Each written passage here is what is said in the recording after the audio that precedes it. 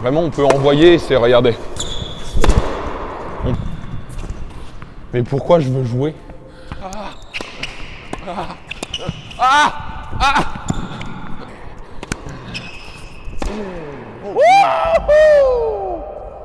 On est là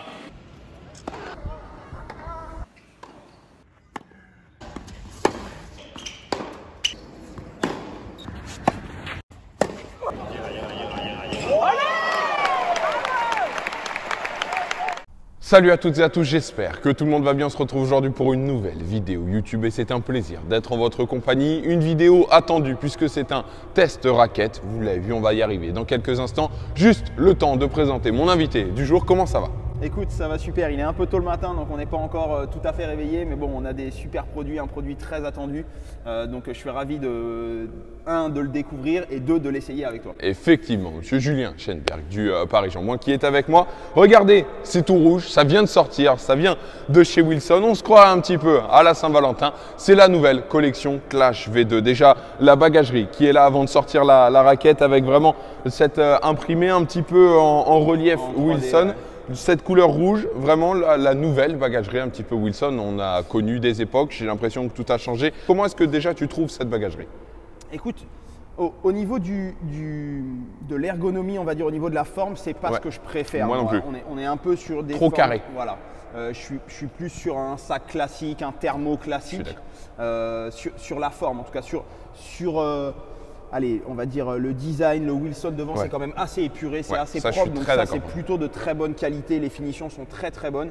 Donc euh, pour le coup, dans l'ensemble, un produit plutôt sympa. Je suis entièrement d'accord avec toi. Le, le côté trop carré de la raquette, une raquette pour moi c'est vraiment c'est c'est rond, c'est c'est pur. Et là et là ça fait poum poum poum. C'est ça c'est- ça m'embête un petit peu. Par contre tu l'as dit, c'est vraiment très épuré, c'est tout rouge. Le côté que ce soit simplement en relief et pas Ouais. d'une autre couleur, je trouve ça par contre vraiment très réussi de la part de, de chez Wilson. Regardez maintenant cette Clash V2 qui est à, l'intérieur, c'est une raquette qui est très particulière pour la simple et bonne raison que c'est la raquette la plus vendue de chez Wilson. Cette V1 a été une pure réussite de, la part de, de la marque, malgré que aucun joueur ni aucune joueuse ne joue avec cette raquette. C'est vraiment ça qui est très très impressionnant. Avant qu'on rentre un petit peu dans les caractéristiques et dans la cosmétique de cette raquette, qu'est-ce que t'inspire la Wilson Clash? Écoute, pour, pour le coup, moi, moi j'aime j'aime beaucoup ce qu'ils font. Ouais. Effectivement, comme tu disais, c'est une spécificité parce que tu n'as aucune joueuse ni aucun joueur qui joue avec sur le circuit. Et pour cause, je pense que c'est un produit plus destiné à, entre guillemets, des joueurs de club, du troisième série, du quatrième série, du Ouais, début de seconde série. Ce qui fait que les joueurs ne jouent pas avec, mais pour le joueur, entre guillemets, euh, euh, standard, euh, milieu de troisième série, c'est le produit phare par excellence. Effectivement, euh, sensibilité pardon, due à la stabilité et à la durabilité de la raquette. C'est vraiment les deux axes qui sont prônés par Wilson pour cette clash. Ça amène beaucoup de sensibilité de, de jeu, comme je vous le disais. Si on rentre un petit peu dans les spécificités, c'est une raquette qui fait même pas 300 grammes non cordée, seulement 295, un tamis en 6,45. Tu le disais, c'est un petit peu la raquette de base d'un Ouais. joueur qui va commencer, qui va débuter, ou même d'un joueur qui justement va simplement rechercher des sensations de jeu sans avoir une performance pure.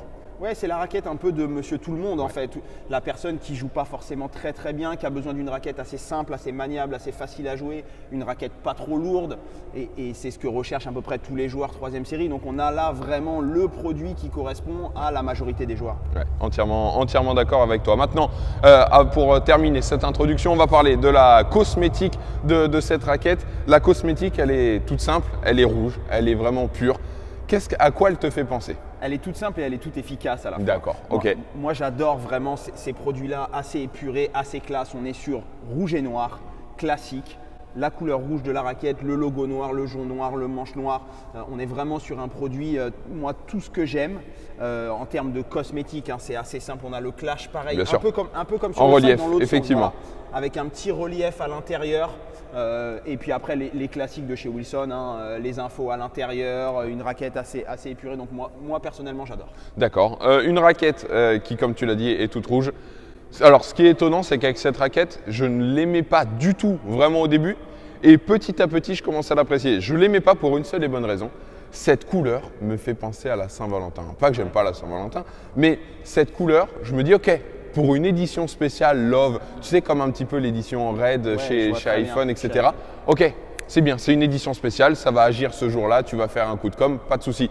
Le fait de l'avoir 365 jours par an, je me dis, oh, c'est long. Vraiment, c'est long et je ne sais pas, voilà, je sais pas si je, je, serais capable. Et puis, plus je la vois, plus c'est pur, plus c'est d'une simple couleur, plus je la trouve euh, jolie. C'est pur et puis il y, a quand même, il y a quand même un petit travail sur la couleur. On sent un, un, petit dégradé de couleur, etc., qui, fait, qui fait la différence. Un petit peu mat, un petit peu mat et c'est très très intéressant. Euh, dernière chose avant de commencer, malheureusement, pour moi, et j'ai hâte de la tester pour voir si ça se révèle vrai, je la trouve quand même un petit peu large en termes de, tamis. Oui, mais il y a des tamis 645 plus profilés. Là, là c'est vraiment le, le tamis. Le, 645 de base. Exactement. Vraiment pour. Donc j'ai hâte de voir. J'ai enfin, voilà, plus l'habitude de jouer avec un tamis profilé. Vous savez quoi? On va directement partir sur le test. À noter que ces raquettes sont disponibles bien sûr en précommande sur le site Tennis Point et chez Tennis Point Paris. Vous pouvez y aller. Elles vont sortir dans les prochains jours. Mais si vous voulez l'avoir en avant-première. Si vous voulez directement les précommander, vous y allez, tennispoint.com euh, et Tennispoint Paris dans le magasin. Ils les ont déjà reçus en test. En plus, vous pouvez les essayer et tout ça. Vous savez quoi? C'est parti. Test de la clash. J'ai hâte, j'ai hâte, j'ai hâte, j'ai hâte. Go Allez. Voilà. Wow. Oh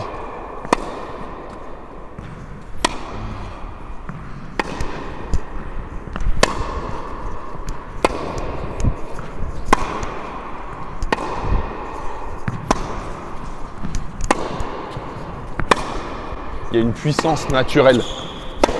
Euh, on ressent vraiment le côté du, du tamis en 6,45 et du plan de cordage en 16-19. Donc du coup, il y a une puissance qui se ressent dès les premières frappes de balle. C'est vraiment, on peut envoyer, c'est regardez, on peut envoyer, c'est vraiment une puissance qui est naturelle dans, dans la raquette. C'est drôle, on a l'impression que on ne peut pas faire de faute. Maintenant que j'ai dit ça, vous allez voir, je vais en faire une, mais. Même pas. ah, si, quand même, il fallait qu'elle arrive. Mais c'est une raquette qui est vraiment, mais très, très. Bah, comme ils l'ont dit, dans la sensibilité de jeu, en fait. Oh Elle est belle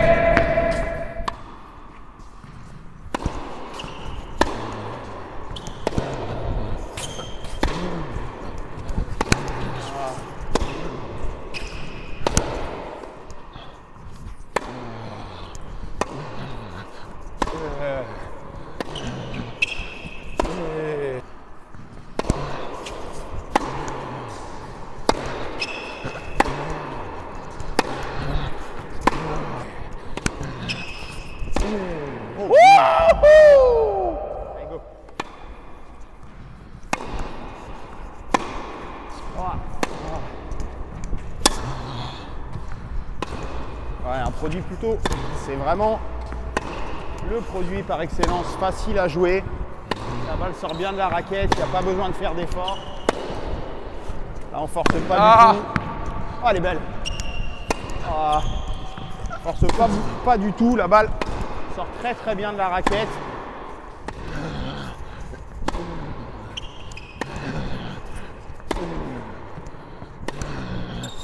On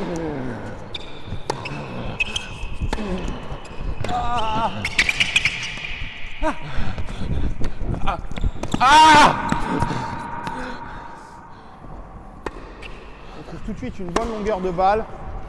Une raquette super maniable, on ne fait pas d'effort. Il y a juste à vraiment envoyer. Un super contrôle. Ah, ah. ah allez, allez, allez, allez. Après, je comprends pourquoi aucun même s'il ne joue pas avec les mêmes caractéristiques que nous, je comprends pourquoi aucun joueur ni aucune joueuse ne joue avec. C'est pas du tout une raquette qui est faite pour le côté professionnel. C'est vraiment une raquette qui est faite pour le côté venir prendre du plaisir, être joueur, débuter, progresser. Mais ce n'est pas une raquette de haut niveau. C'est ça qui est. Voilà, ça va pas avoir les exigences du haut niveau. Par contre, pour se faire plaisir, c'est vraiment, vraiment, vraiment cool je vais essayer d'être un peu plus agressif pour voir ce que ça donne. On en met un peu plus.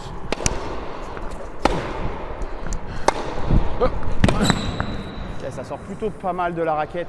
Mais par rapport à des raquettes plus entre guillemets euh, haut de Ah. gamme. Ah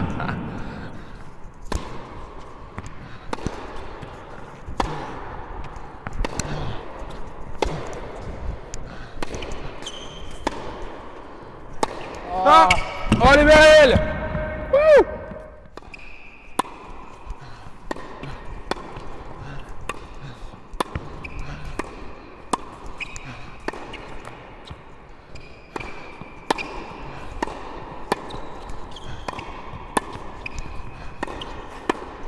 On sent vraiment la durabilité vraiment de, la raquette, la, la stabilité, vraiment elle est bien. Et, on sent qu'on peut continuer l'échange vraiment en étant serein, solide sur, euh, qu'elle va répondre. Elle va répondre avec la, la puissance qu'elle a, avec le contrôle.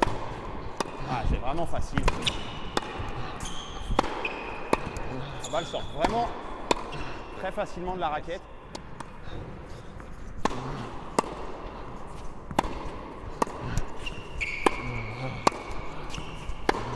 Ah Ah Pardon.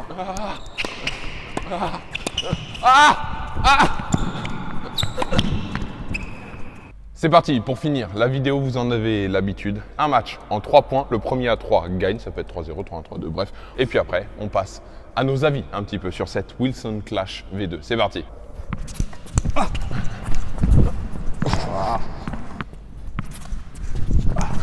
아!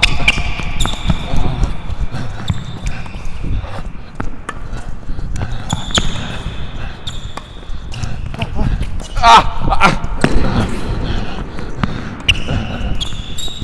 아! 아! 아! 오! 아! 아! 아! 아!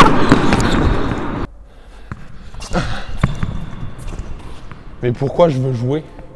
Arrête d'être débile. deux.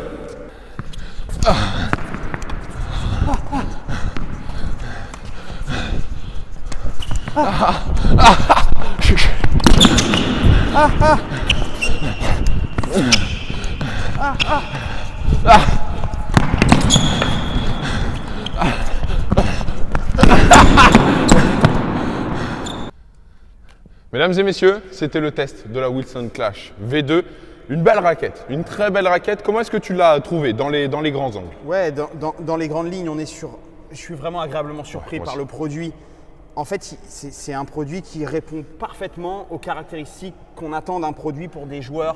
Troisième série, quatrième série, ça répond facilement. On sent cette puissance, ça part facilement. On a un super contrôle quand on va jouer un peu en toucher, chip, revers, volet, etc. On a vraiment un bon toucher de balle, on sent bien la balle.